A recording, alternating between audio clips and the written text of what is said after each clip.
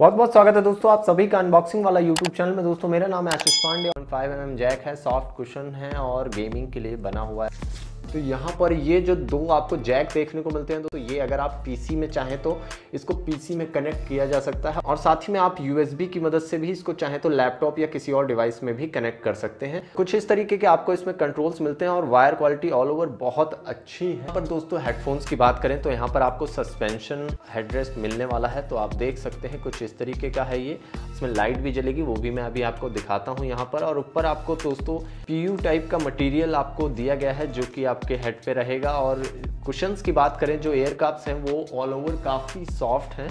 और यहाँ पर माइक्रोफोन आपको एकदम फ्रंट में दिया गया है जिसको आप घुमा भी सकते हैं इधर उधर